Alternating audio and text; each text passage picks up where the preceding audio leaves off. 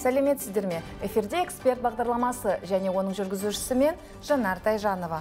Біздің бүгінгі тақырып елордаға тартылған инвестиция. Студия қонағы астана инвест инвесторларға қызмет көрсету орталығының басшысы абай қожамжаров.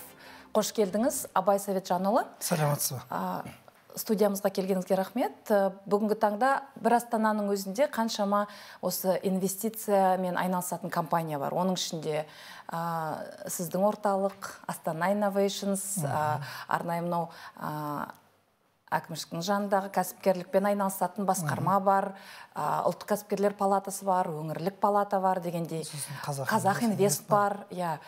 Сіздің орталықтың ерекшелігі неде? Әрине сіз функцияларыңыз ұқсас сияқты мен иә дұрыс орынды сұрақ. Қазір сіз ә, дұрыс атадыңыз. Қазір кезде мынау ә, мемлекет тарапынан ә, инвесторлар тартуға көптеген жұмыс жасалып жатыр. Соның бір бөлігі ол инвесторларды тарту керек. Мысалы әр мемлекеттік орган ол инвесторларды тарту олардың тікелей жұмысы болып келеді. Бірақ инвесторларды тартқаннан кейін оларды осы жерде оларға дұрыс бағыт беру дұрыс бағдар беру оларға тиісті ақпаратты беру ол көптеген мемлекеттік органдарда дұрыс қарастырылмаған. Сондай сұрақтарды болдырмау үшін осы астана қаласында әкімдіктің қарамағында біздің компаниямыз ашылды. Астана инвест деген. Біздің биылғы жылы осы жылы ашылдық. Оның алдында ол басқа компанияның қарамағында инвесторлар қызмет көрсету орталығы болып аталған. Қазір кезде біз жеке ұйым болып орналастық. Соның шеңберінде бізде екі үлкен бөлім бар. Ол бірінші бөлік ол инвесторлар тарту мен инвесторларға қызмет көрсету жұмысымен айналысты. Екінші бөлігі ол инвесторларға біз тартылған сол инвесторларға ұсынылған жобаларды мемлекеттік жекешелік әріптестік бойынша жобаларды жүзеге асыру болып табылады. Сондай сіз айтқан бағана сұрақты кішкене аша айтатын болсақ мысалы ә, мемлекеттік органдар көбінесе саяси ә, саяси жұмыспен айналысады. Олар инвесторларды тартады оларды қызығушылық танытады оларға бағанағы тиісті ақпараттарды береді.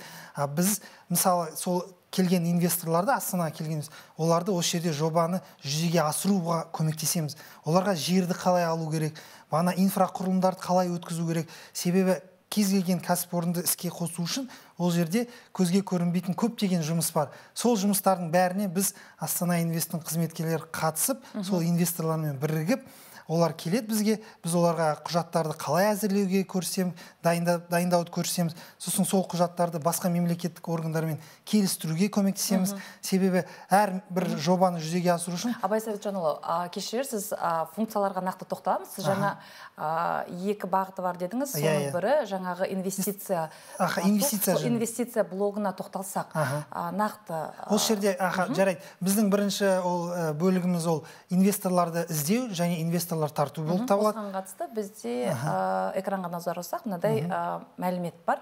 Қазір кезде біз біріншіден біз инвесторларды тарту жұмысымен айналысамыз. Сосын ол инвесторлар тартқаннан кейін оларға сервистік қызмет және консультациялық қызметтер көрсетеміз. Ол инвесторлар одан кейін барып оларға ақпараттық талдау жұмыстарымен бойынша бағана қамтамасыз етеміз. Содан кейін біз мемлекеттік қолдау қазіргі барлық мемлекет тарапынан берілетін бағанағы преференциялар болады. Сол қолдаулардың бәрін интеграциялауға көмектесеміз. Және де құқықтық қамтамасыз ету көрсетеміз. Себебі инвесторларда көбінесе осы құқық жағынан көптеген сұрақтар туындайды. Және де мынау салық, салық жөнінде де. Сол бойынша біз ә, тиісті жұмыстар жасап ә, тиісті келіссөздер жүргізіп тиісті бағанағы кездесулер ұйымдастырып инвесторларға толыққанды ә, бағана олардың сұрақтарына жауап беруге тырысамыз. Мысалы үшін шетелдік инвесторлар тартуды ә, тартуменен қазақ инвест айналыспайтын ба еді? Жоқ мысалы ә, қазақ инвест ол ә, жалпы мемлекеттің қарамағында осы жалпы республикаға инвесторлар тартады.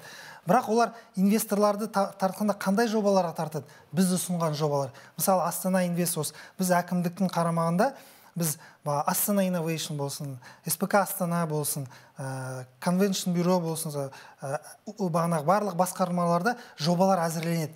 Сол жобалардың бәрін біз жинақтаймыз. Сол жобалардың бәрін жинақтап бір үлкен бір жобалар картасын жасаймыз. Содан кейін барып сол жобалар картасын қазақ инвестке де ұсынамыз. Содан кейін барып келген инвесторларға да ұсынамыз. Және де қазіргі кезде бізде шетелде елшіліктерде бізде өзіміздің серіктестіктеріміз бар. Сол кісілерге жолдаймыз. Дәл осы істерменен тіпті мынау біздің сыртқы істер министрлігі де айналысатынын қазір кезде сон иә себебі да біз шетелдік инвесторларды шатастырып жібермейміз ба? Мынадай көптеген бөлек бөлек компанияларды ашып қойып оның барлығы ә, менің білуімше бюджеттен қаржыландырылады. Дұрыс айтасыз. Енді ә, көріп отырсыз ба? Мемлекет тарапынан осы жұмыстардың бәрі жасалының нәтижесінде қазіргі кезде бізде астана қаласы бойынша инвестицияның көлемі өте жоғары. Мысалы алдыңғы жылы біз 837 миллиард теңге инвестиция тарттық шеттік шетелден келген қанша? 837 миллиард бұл қай кезеңде? Ол 2016 жылы. Бұл тек шетелдік инвестиция көлемі. Сон, соның нәтижесінде бізде ә, көптеген ә, кәсіпорындар іске қосылды көптеген жұмыс орындары ашылды. Бұл деген ә, әлеуметтік ә, экономикалық ә, жағдайды қаланың жақсартады. Себебі қазіргі кезде ә, елбасының тапсырмасы бар ә, сол инвест, инвестициямен ә, мемлекеттік жекешелік әріптестіктің арқасында барлық тиісті қажеттік әлеуметтік те және де бизнестік жобаларды жүзеге асыру. Себебі бюджеттен қазір біз ақша тарту бізге ә, ә, болмайды. Себебі бюджетті қазір бізге салмақ түсіруге болмайды. Тек иә. инвесторлармен және мемлекеттік жекешелік әріптестіктің арқасында инвестициялық жобалар жүзеге асыру керек. Бұл өте дұрыс ә, саясат деп ойлаймын. Себебі ә, келген инвесторлар біздің астана қаласының көркін байқайды бұл жердегі экономикалық жағдайды байқайды. Себебі бізде ә, инвестициялық жеңілдіктер өте күшті. инвестор нақты астанаға келген инвестор қай жерге баратынын біле ма нақты? Нақты біледі. Бізде анау бірыңғай ә, терезе бір терезе қағидасы. деген. Иә ол қағидасы өте жақсы жұмыс істейді. Себебі біз ә, тек өзіміз ғана ортамызда шектелмейміз. Астана инвест компаниясы ол ә, осы басқа мемлекеттік органдармен бәрімен бізде келіс келісім шарттар бар. Ол кісілермен оларда мысалы инвесторлар келетін болса ол алдын ала бізді шақырады. Біз сол кездесулерге қатысамыз. Бір терезе қағидасы бойынша инвесторлар бізге келеді және де бізден болмаса басқа мемлекеттік органға барса біз сол жерде боламыз. осы қағиданы ұстанып отырсыздар осы қағиданы ұстанамыз. Жалпы астанаға тартылған инвестиция көлемі біраз деп айтып кеттіңіз иә? Сегіз жүз миллиардтан астам былтырғы жылдың нәтижесі бойынша. Соның ішінде сыртқы инвестиция көлемінің үлесі қанша жалпы? Жалпы үлесі мен айттым ғой бізде инвестицияның толық көлемін қазір айта алмаймын бірақ соның ішіндегі жалпы шетелдік инвестиция 837 миллиард теңге. Осы таза шетелден келген инвестиция. ал бюджеттен тартылған ол жайында қазір кішкене нақты айта алмаймын себебі бюджет. Бізде тек шетелдік инвестицияға қазір көп көңіл бөліп жатырмыз екі мың екінші жылы астана жаңа қала атты арнайы экономикалық аймақ құрылғанын білеміз. Бүгінде 15 жыл болды иә. Соңғы 15 жылдың нәтижесі мынадай екен. жеті бүтін оннан төрт миллиард доллар тартылған инвестиция көлемі. Осыған сәйкес 16 мың жұмыс орны ашылған екен. Жалпы құны бір бүтін оннан жүзден елу сегіз миллиард доллар өнім өндірілген. Өндірілген. Және қалалық бюджетке түскен салықтың көлемі 200 миллион, доллар. осы жерде бір айтып кетейін деген осы жалпы қалалық бюджеттен осы индустриялық парк номер бірінші паркті біз іске асырған кезде қалалық бюджеттен ақша бөлінді. Ол жерде барлық инфрақұрылымдар салынды. Бюджеттің көлем бюджеттік ақшадан ал қазіргі инвесторлардан түскен тек сол салықтың өзінен біз ол ақшаны ақтап алдық. Қазір кезде ә, индустриялық парк бізде номер бірінші өте жақсы жұмыс істейді. Ол жерде алпыстан көп жуық жобалар жүзеге асқан. Оның ең бір күштісі бізде мынау ә, машина жасау кластері жақсы дамыған. Ол жерде пойыз жасау мынау мынау қауіпсіздік жөнінде қорғаныс министрлігінің үлкен зәулім машиналар жасалынады. Және де Э, көптеген тамақ өнеркәсібіне сәйкес осындай жобалар жүзеге асырылып жатыр. Олар ә, міндетті түрде ә, өздеріне жеңілдіктер алған. Оны атап айтатын болсам инвесторлар бізге келген кезде олар арнайы экономикалық аймаққа келеді. Себебі ә, орталық азияда біздің арнайы экономикалық аймағымыз ең тиімді болып саналады. Ол біріншіден ол кімнің бағасы бойынша? Ол орталық азияда бізде өзінің осы бір ұйым бар орталық азияны зерттейтін агенттік. Сол ұйымның агенттік бойынша біз 2015 жылы бірінші орын алғанбыз. Ә, себебі бізде ә, жер тегін беріледі инвесторларға келген кезде ә, және де олар ә, заттай салықтан жер салығын және де корпоратив салықтан босатылады және де ә, кедендік салықтан босатылады және осы жерге бағанағы жобаны жүзеге асырған кезде ол жерге келетін құралдарды және де ол жерге ә, бағана жұмсалатын строй э, э, құрылыс материалдарын соның бәріне олар салық төлемейді ол ә, бұл баж салығынан босатылады. Мынау арнайы экономикалық аймақ негізі мынау шетелдік тәжірибеге сүйенетін болсақ Иә. осындай мынау сыртқы инвестицияларды тартуға сол инвесторларды ә, ынталандыруға пайдаланатын құралдардың Иә, бірі болып иә, танылады иә. енді нақты жаңағы сіздің айтып отырған жеңілдіктер біздің инвесторларды қызықтырады ма? Және салықтан басқа тағы қандай жеңілдіктер қарастырылған осы аймақта? Арна, арнайы экономика аймақ астана бойынша екі үлкен бөлікке бөлінеді. Бірінші бөлік ол мынау сол жағалауды алсақ болады. Сол жа- жағалау бізде арнайы экономика аймақ. Бұл ә, әкімшілік мемлекеттік ә, зәулім бағанағы ә, құр- құрылыстар соны салу бойынша бөлінеді. Және де екіншісі ол ә, индустриялық парк. Индустриялық паркта бізде көбінесе өндірістер орындары жүзеге асырылады ал ә, әкімшілік аймақта бізде әм, мынау медициналық бөлімдер салынған және де мына туристерді тарту мәселесі бойынша ә, үлкен зәулім құрылыстар салынған. Ал арнайы экономика аймақтың ең бір жақсы ерекшелігі инвесторлар ол жерге келгенде оларға біріншіден біз сияқты мемлекеттік органдар көмектеседі. Оларға құжаттардан әзірлеу керек тек қана техникалық экономикалық негіздемесі ғана болу керек. Және де осы жерде ә, бір мемлекеттік ә, заңға сәйкес осы жерде ә, заңды тұлға ашу керек. Э, болды. Осындай ә, және сол заңды тұлғаға қажетті бағана құжаттарды әзірлейді. Осы құжаттардың бәрін әзірлегеннен кейін әкімдіктің қарамағында ол маслихаттың депутаттарының алдында осы жобаны ә, презентация жасайды ұсынады. Сол жобаны ұсынғаннан кейін инвесторлар ә, өздерінің жобасының қандай тиімді екенін көрсету керек. Егер ол әкімдік ә, қарамағына және осы қаланың дамуына үлес қосатын жоба болса біз оны қолдау тауып инвесторлар ә, сол жобаға ә, бағана жерді тегін алады және инфрақұрылым тегін беріледі. Сонда салықтан босатылады инфрақұрылым- тегін алады жер- инфрақұрылымды сіздер салып бересіздер. Иә. Инвестор жергілікті тек- бюджеттен. жергілікті бюджет- тағы қандай нақты жеңілдіктер бар? Ол салық бағана. Салық және ә, мысалы сіз айтып отырсыз қазіргі кезде ин- инвесторлар не керек деп. Инвесторға тек осындай жеңілдік керек жер керек. Себебі ол жерді алғаннан кейін оған инфрақұрылым бәрі бар. Оған тек өзінің ақшасына құрылыс салады. Болды басқа ештеңеге ол жұмсамайды. Себебі ол келетін бағана құралдарына егер ол баж салығын салатын болса ол өте жоғары болады. Ал ол баж салықтан босатылады. Және келген құрылыс материалдарынан да баж салығынан босатылуы мүмкін. Және де визалық көмектер көмектесеміз. Мысалы ол жерде ә, бағана басында мысалы шетелден келген құрылғылардан жұмыс істейтін ол жерден ә, жұмыс көздерін тартылады. Шетелден жұмыс көздері тартылып олар топ менеджмент болып салынады. Сол жерде инвесторлар біздің бағанағы жергілікті ә, біздің мамандарды тартып ол жерде сол жерде ә, үйрету жұмыстарын жүргізеді сабақтар өткізеді. Сөйтіп сол жерде топ менеджментқа визалық жеңілдіктер көрсетілген. Оны те, үш есе тез алады. Және де бағанағы ә, мынау келіп жатқан жұмыс жұмысшылардың да өздерінің оларда да үш есе тезірек ә, бағанағы өздерінің рұқсаттамаларын алады. Осындай жеңілдіктер қарастырылған. Жақсы осындай жеңілдіктерге қызыққан инвестор астанаға келді дейік иә? Иә. енді жалпы шамамен осы астанаға құйған инвестицияны а, инвестор қандай мерзімде және қандай а, пайызбенен қайтарып алуы мүмкін? Оны Орта есеппен алғанда. орта есеппен әрине ә, өте орынды сұрақ. Ә, қазіргі кезде инвесторлар ә, өздерінің ә, жобаларын жүзеге асыру барысында барысында біздің жеңілдіктерді пайдалана отырып 30 пайызға дейін өздерінің шығындарын азайтады. Бұл нақты қазір ә, айтылған факт. Ол 30 пайыз үнемдеді сонда ол жұмсалған 60 пайызын қазіргі кезде орта шамамен 5-10 жылда қайтарып алады. Жақсы. 5-10 жылда 30 пайыз. 30 пайыз ол басында ол үнемдейді сосын 60 пайызын ол 5-10 жыл ішінде ол қайтарып алады өзінің қазіргі кезде.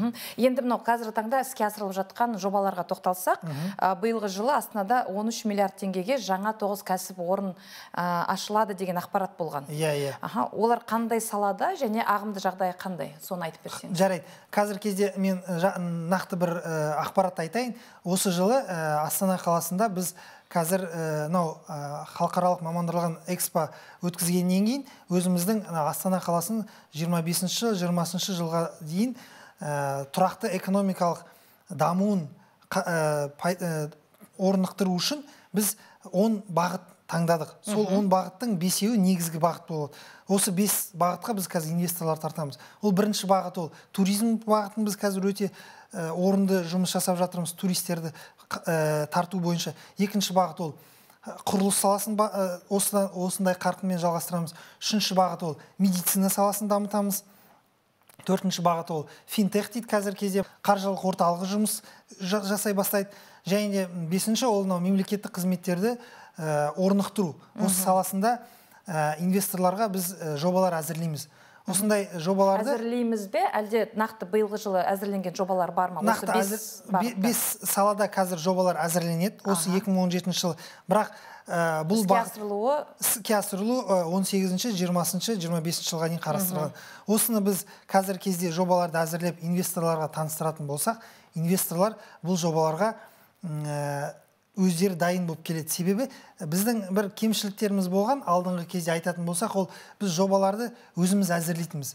А оны инвесторлар көріп айтады мына жоба маған тиімсіз деп ә, эффект жоқ деп сосын қазіргі кезде біз оларға ә, тизерлар беретін болдық. Инвесторларға сондай ә, әзірлеп береміз жалпы ақпараттар береміз. Сосын ол қарап өзіне тиімді етіп сол жобаларды әзірлеп келеді. Жобаны әзірлеу деген ол соның техникалық экономикалық негіздемесін дайындайды. сонда шетелдік инвесторлар сол негіздемені өз қаражатынан қаржыландырып әзірлеуге әзір иә әзірлейді. Себебі олар сол жобаны жүзеге асыру барысында сол техникалық экономикалық негіздемені әзірлеу. Ол да жақсы нәрсе ғой. Сіздер бюджеттен ақша үнемдеп отырсыздар ғой. Міндетті түрде иә жаңағыдай құжаттарды дайындауға дұрыс. себебі біз қазіргі кезде енді заман талабы өте тез тез даму ғой біз мысалы біз бір жобаны әзірлегенше ол жобаның мынау ақпараттар ескіріп қалып жатады. Сол үшін біз қазіргі кезде осындай бағытты инвесторлардың қолына беріп жатырмыз себебі олар осы салада жақсы жұмыс істейді сол саланы жақсы меңгерген және де олар ол жерде бизнес көзқарасынан қарап сол жобаны әзірлейді. Сол жағынан бізде қазір жақсы бір ә, осындай тәжірибе алдыға басып жатыр.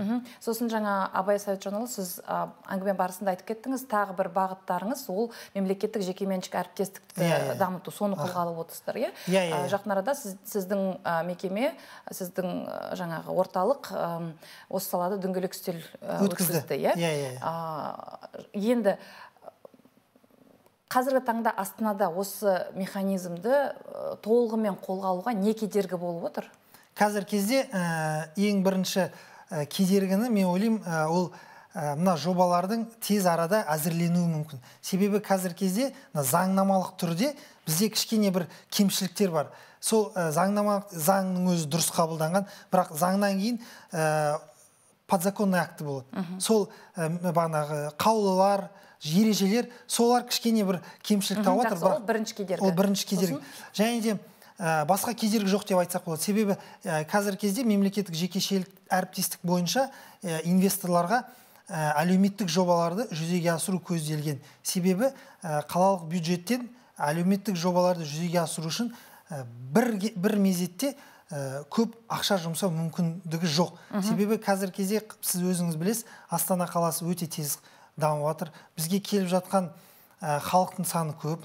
Осы жерде туылып жатқан балалардың саны көп. Сол үшін балабақшалар тапшылық болып жатыр емханалар тапшылық болып жатыр. Осы тапшылықты тез арада шешу үшін қазіргі кезде әкімдіктің қарамағынан осындай мемлекеттік жекешелік әріптестікті дамыту жақсы орын көзге алынған. Соның нәтижесінде біз онға жуық балабақшаны қазіргі кезде әзірлеп инвесторларға ұсынып жатыр және де үш төрт емхананы. Мынадай қысқа бір соңғы сұрақ қойсам. Қазақстанда жалпы бірінші кезекте тіпті астанада инвестициялық тартымдылықтың деңгейі өте жоғары деген. Рас па жоқ па? Рас. Рас. Себебі себебін айтсам бола ма? Себебі астана қаласы өзіңіз білесіз машина жасау өнеркәсібі өте жақсы дамып жатыр және де өте әсем және өте көркімді және де ол евразияның жүрегі болып танылады. Сондықтан астанаға келген инвесторлар біріншіден қаланы ұнатады. Содан кейін барып осы жерге инвестиция салады. Жақсы абай советжанұлы көп рахмет сізге. Осымен біздің бағдарламамыз аяқталды. Келесі жүздескенше қош сау болыңыздар.